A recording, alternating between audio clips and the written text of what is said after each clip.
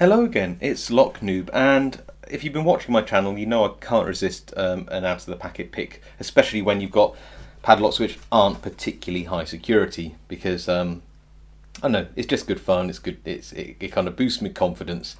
Um, I actually ordered this by accident. Um, I ordered um, uh, from an online retailer, and I think the item I was ordering was about fifteen pounds, uh, and the postage was about five pounds, and it was free postage for twenty pounds. So I found a padlock for around five pounds to make it free postage, so I get um, uh, you know free padlock instead of paying for postage. Uh, ironically, they well, uh, or not really ironically, but they actually ran out of the item I was trying to buy in the first place and just sent me um, the the padlock with free postage. So hey, it's not all bad.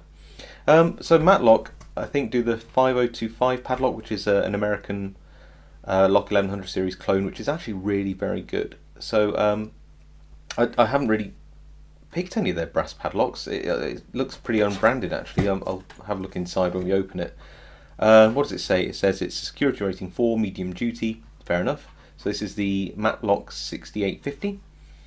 Uh, so it's a 50mm padlock. Uh, slimline. Doesn't say much about it apart from double locking shackle and that it's uh, you know on the lower end of medium security, which is about right for a, a you know a brass padlock really. Okay, I've got no idea what pins are in here, and the key bitting, um, which let's be honest, I shouldn't really be peeking at, but we are, um, is relatively flat. We've got um, a relatively low pin at the back there, so it's one, two, three, four, five pins by the looks of things.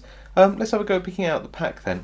Now, I got excited because I thought that this pack was actually going to be one of those ones which you could open without scissors, um, but it, it, actually appears to be sealed um, all the way around. So um, let's try and get this out of the pack first, and we'll leave the keys in because we don't need to have those, do we?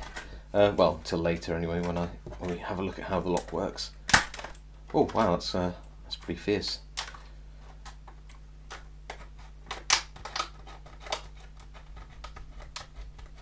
Okay, that should be enough to get us in anyway.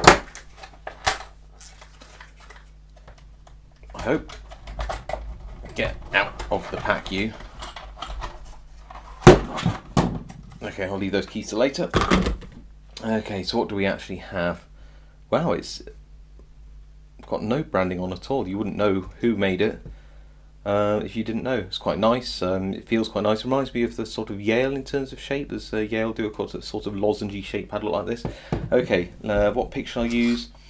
Um, I'm going to give it a go with a Southord um, slimline tension wrench, which hopefully will go in here, and I'm going to do the same with a Southord uh, Max 07B short hook. And well, let's have a go, shall we? Let's have a go at picking this.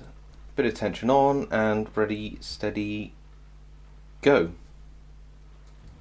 In at the back. Okay, so nothing. Um, five, four, little click four, three, little click. Uh,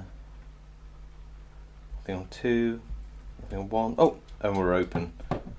Oh, um, I, I mean, even for me, that's that's that's pretty quick. Um, yeah, that's that's quite disappointing actually. Um, I, I, quite like even an outer pick to last around a minute at least. This is uh, that's just silly. Um, okay, well that happens. That happens. Um, I suppose that uh, if you were going to try and lock something up securely, I wouldn't recommend the uh, the Matlock 6850.